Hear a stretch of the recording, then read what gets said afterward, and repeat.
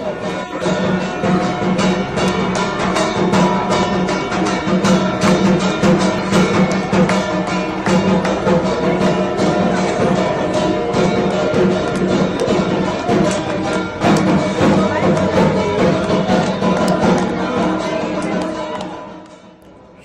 जी गुरु जी को लखादेश माँ भगवती को लखादेश रांची वाले भैरव बाबा को लखादेश आप सभी को आदेश आदेश।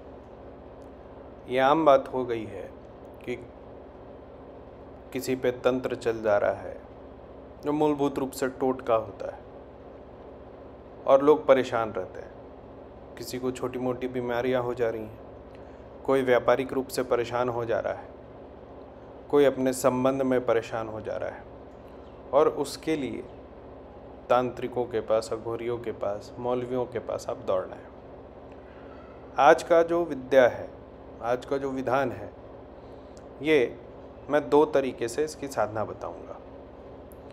एक तो जो तांत्रिक हैं, या जो तंत्र के कर सकते हैं, जो साधना कर सकते हैं, उनके लिए, जिनके पास ऐसा एक स्थान है जहाँ पर साधना हो सके। और दूसरा उनके लिए, जिनको एक बार बस निवृत्ति चाहिए, ठीक है? तो साधना विधान की शुरुआत मैं करूँगा उन लोगों के लिए, जो इससे और लोगों का उद्धार करना चाहता है या फिर खुद को बिल्कुल किसी भी तंत्र या टोटके से मुक्त करना चाहता है। हनुमान जी की साधना है। इसमें जो सामग्री आपको चाहिए होगी, वो होगी कच्ची मिट्टी। मिट्टी जो आप किसी भी घड़े बनाने वाले कुम्हार के यहाँ से ला सकते हैं। ठीक है, पहला। दूसरा, कच्चा धागा। ठीक है। तीसरा ग्यारह दिन इसकी साधना करेंगे तो ग्यारह लाल गुलाब, ठीक? उसके बाद भखरा मतलब सैफरन कलर का जो सिंदूर होता है, वो सिंदूर कम से कम आधा किलो आपको चाहिए होगा।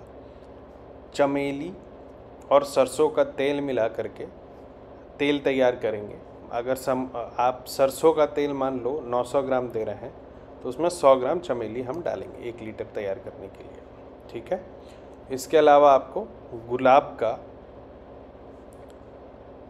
धूप, ठीक? और साथ में फल नवेद अगर फल नवेद की व्यवस्था नहीं हो सकती है तो आप इसमें जो ड्राई फ्रूट हो सकता है, उसको आप लोग प्रयोग कर सकते हैं, ठीक है? इत्र जो है, इसमें चमेली का चलेगा, क्योंकि रुद्र है। इतना होने के बाद जो साधक हैं, वो साधना अपने स्थान पर करें। और हो सके तो साधना की जगह पर एक छोटा सा गड्ढा कोड़ कोड़ करके रख लें। सर्वप्रथम दिन जो है, अपने स्थान को पवित्र कर लेंगे, ठीक है? गुलाब जल से उसको धो लेंगे। मतलब पूरा सुगंधित माहौल होना चाहिए था। पहले के ज़माने में क्या होता था कि इत्र से पूरे कमरे को धो दिया जाता था। अभी इत्र से आप पूरे कमरे को तो नहीं धो सकते हैं, लेकिन अगर इत्र से नहीं धो सकते हैं तो जल में इत्र डाल करके पोछ देंगे। गुलाब जल से थोड़ा छिड़काव कर देंगे, ठीक है? सबसे पहला शुद्धिकरण का जो प्रक्रिया होता है तंत्र में, वो गौमूत्र से होता है तो पहले उसको छिड़क दें, फिर इत्र वाले पानी से पूरा धो दें, फिर एक बार गुलाब जल से पूरा धो दें तो आपका कमरा तैयार हो जाएगा, ठीक है? फिर एक बर्तन लें, और वो जो कुम्हार के यहाँ से मिट्टी लाए हैं, उसको उसमें जल डाल करके थोड़ा आप ऐसा बना ले कि उससे आप गुड़िया बना सकें। जो कच्चा धागा लाया है आपने, उसको साथ में रखें। पहले जो बीच का शरीर होता है एक गुड़िया का, उसको बनाएँ और उसमें उस धागे को पूरे तरीके से लपेट दें, ठीक है? लपेट करके फिर उसके ऊपर मिट्टी डाल दें ताकि वो जो काला धागा है वो दिखे ना। फिर उसका हाथ पैर सर बना करके उसको रख दें, ठीक? इसके बाद जो भकरा सिंदूर लाया है उसमें थोड़ा सा तेल मिला करके उससे उस गुड़िया को रंग दें। एक वस्त्र कोई भी आप चढ़ा दें उसके ऊपर, ठीक है, या वस्त्र से उसको ढक दें। जब आप कोई भी तांत्रिक प्रक्रिया करते हैं और किसी देवता का आवाहन करते हैं, उसको बुलाते हैं तो आपका देवता किसी और को ना दिखे, ये भी महत्वपूर्ण होता है, ठीक है। तो आपने उस गुड़िया को बनाया, उसके ऊपर वो भगरा सिंदूर डाल करके उसको आपने रंग दिया। रंगने के बाद उसको आपने ढक के रख दिया। फिर उसके ऊपर थोड़ा सा इत्र छिड़केंगे। जो धूप दीप नवेद हमने बोला है, वो सब धूप दीप नवेद जो है, आप उनको अर्पण कर देंगे। ठीक है? जब आप पूजा करके उठेंगे तो रोज़ उसको जब आप पूजा करने का जाप शुरू करेंगे तो मुख आप उसका खोल देंगे। आपको आँख, नाक, मुँह बनाना नहीं है। ठीक है? आपको सिर्फ़ सर जोड़ देना है, धड़ रखना है, दो हाथ, दो पैर इतने ही रखने हैं। ठीक? उसके बाद रुद्राक्ष की माला से आप तीन माला जाप करेंगे। मंत्र क्या है? मंत्र तीन बार बोल रहा हूँ। ओम एक ठो सरसों, सौला राई, मोरो पटवल को रजाई। खाए खाए, पड़े भार, जे करे ते मार। उलट विद्या, ताही पर परे, शब्द साचा पिंड काचा, हनुमान का मंत्र साचा पूरो मंत्र ईश्वरो वाचा। फिर से सुनिए। ओम एक ठो सरसों सौला राई मोरो पटवल को रजाई खाए खाए, पड़े भार, जे करे ते मार। उलट विद्या ताही पर परे, शब्द साचा, पिंड काचा, हनुमान का मंत्र साचा, फूरो मंत्र ईश्वर वाचा। तीसरी बार सुनिए। ओम एक ठो सरसों, सौला राई, मोरो पटवल को रजाई, खाए खाए पड़े भार, जे करे ते मार, उलट विद्या ताही पर परे, शब्द साचा, पिंड काचा, हनुमान का मंत्र साचा, फूरो मंत्र ईश्वर वाचा ठीक है? अर्थात है कि सिद्ध मंत्र है, लेकिन फिर भी आप जो सामने आपने इष्ट बैठाया है, उसको ग्यारह दिन में सिद्ध कर लेंगे। एक बार जब सिद्धि हो जाएगी, ठीक है? तो आप एक हवन करेंगे। नीम की संविधा मिल जाए, या पीपल की संविधा सर्वोत्तम है इसमें। पीपल की संविधा पीपल की लकड़ी ले लिया। उसमें आप हवन सामग्री जो बाज़ार में मिलता है, सब मिक्स किया वो वो थोड़ा सा ले लें। उसमें थोड़ा सा राई डाल दें, एक मुट्ठी भर। एक मुट्ठी भर उसमें सरसों डाल दें, ठीक है? उसके बाद कुछ सुगंधित द्रव्य उसमें और डालें, जैसे कि गुलाब की पंखुड़ियाँ होती हैं, ठीक है?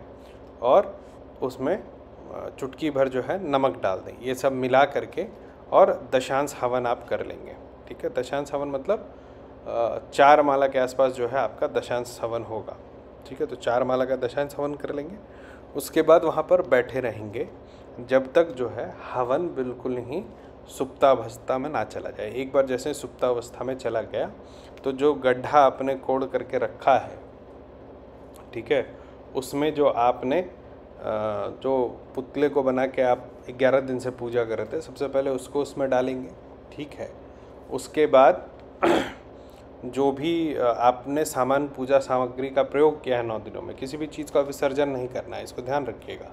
वो सबको एक पन्नी में आप बाँध करके रखते जाइएगा, जो फूल उतरा, उसको एक दिन रख दिया, जो प्रसाद चढ़ाया आपने उसको रखते चले गए रखते गए खुद भोजन नहीं करना, उस प्रसाद को भी आपको नहीं खाना है। और अंत में सबको जो है उसी गड्ढे में डाल देंगे, ठीक?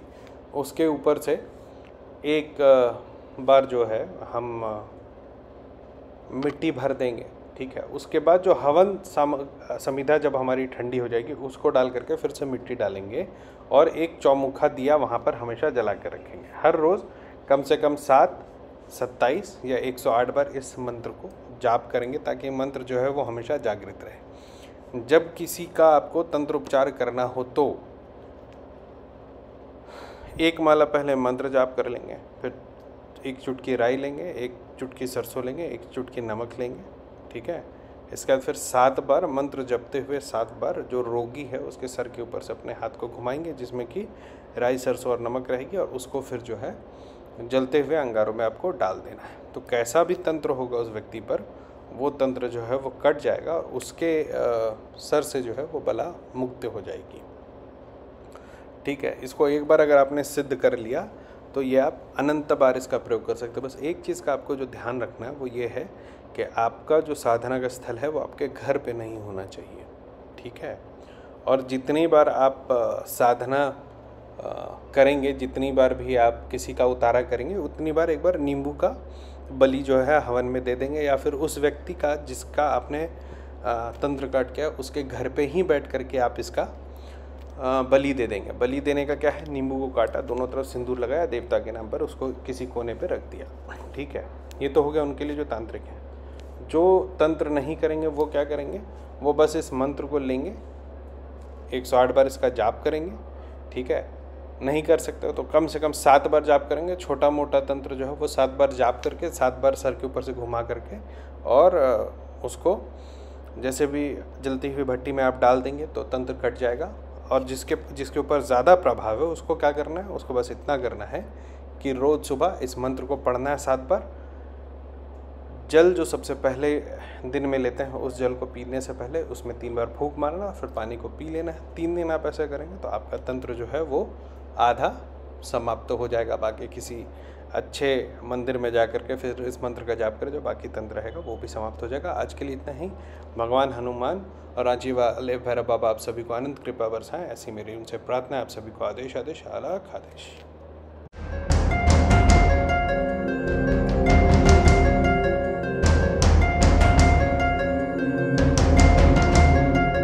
देवराजसेव्यमानपावनाघ्रिपङ्कजं ्यालयज्ञसूत्रमिन्दुशेखरं कृपाकरम्